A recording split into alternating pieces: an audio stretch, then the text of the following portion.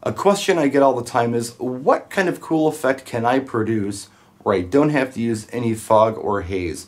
Most places where we play these days as mobile DJs don't allow us to use fog and haze. Very rarely do we get to. So yeah, what can you do? This is a cool, I don't know, effect you can use either on a ceiling or on a wall. And we're going to use a few different fixtures to make this happen.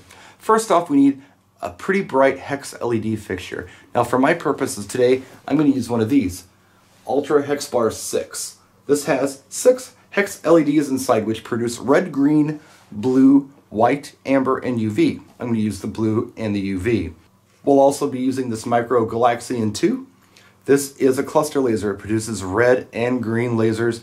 We're going to use only the green laser in this. And last but not least, the Pinpoint Gobo. This is a brand new fixture. It's like a Pinpoint Go. It's larger. It's battery powered. You can put gobos inside. You can also put color gels inside.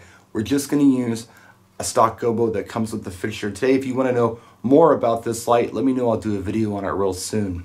Let's go ahead and set up the Ultra Hex Bar 6. Real easy. We're just going to plug it in. I've already got the light set up on it. It does have a menu here. I'm using full-on 255 power UV and 100 power blue. Now next up we'll set up the Galaxian 2. I've already set this up with the eye remote to give me only a green laser.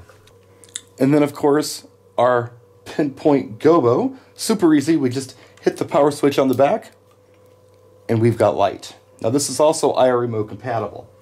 We're just going to point it straight up at the ceiling. Now that we're all set up, let's have a look at our effect.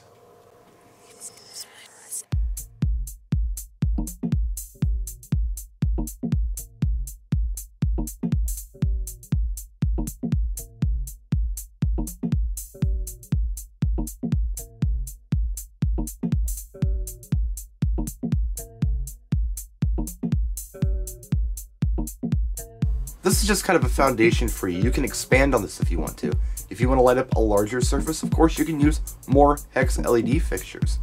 Also, you don't have to go white on this gobo. You can go color on this gobo. You can also rotate it, or alternately, if you want to have a lot of fun, you can use a moving head, and then use a DMX controller to program your moving head to move how you want it to move and rotate the way you want it to rotate. Just a concept. What do you think? Let me know in the comment section. I'm just turning you guys on to it who maybe haven't tried it before. So there you have it. Thanks for watching.